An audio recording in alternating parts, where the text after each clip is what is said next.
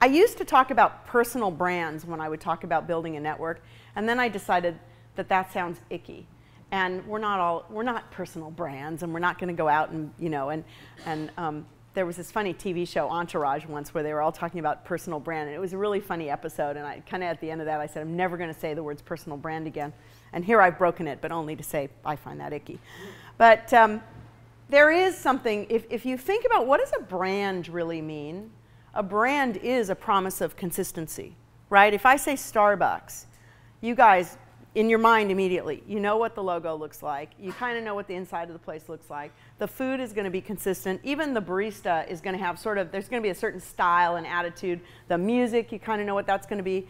And all over the world, you know, you'll be in, you know, Edinburgh, Scotland, and you'll see a Starbucks, and you know if you go into that Starbucks, you're going to have a certain experience. So if you think about brands as, as consistency, I think that's a really good way to think about brands and branding. And when you think about your own personal brand, even though I hate those words, think about consistency.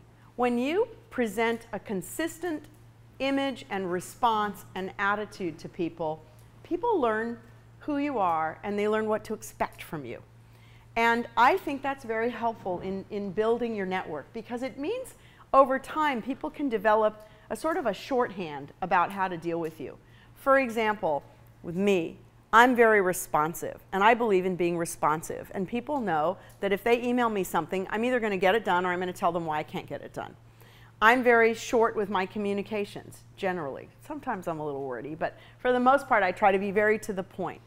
I try to be respectful.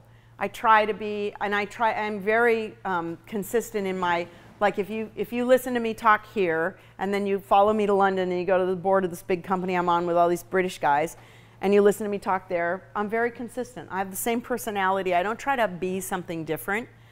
Part of it, I actually think, is because the more consistent you are over time, the more you will you will find the, the sinking into the things that you actually are best at doing.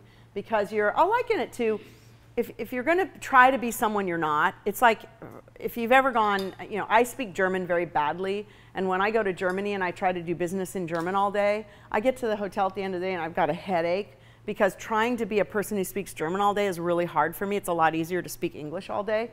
Um, so I, I, really think that this, you know, this is one of those cases of if I'm consistent and if I'm me and I focus on my strengths, I just do a lot better than if I try to be someone else all day long. And I can, I'm, I can guarantee you guys are all thinking, think about a person who's inconsistent in your life. Think about a person who half the time they schedule something with you and they don't show up or they say they're going to do something and they don't do it.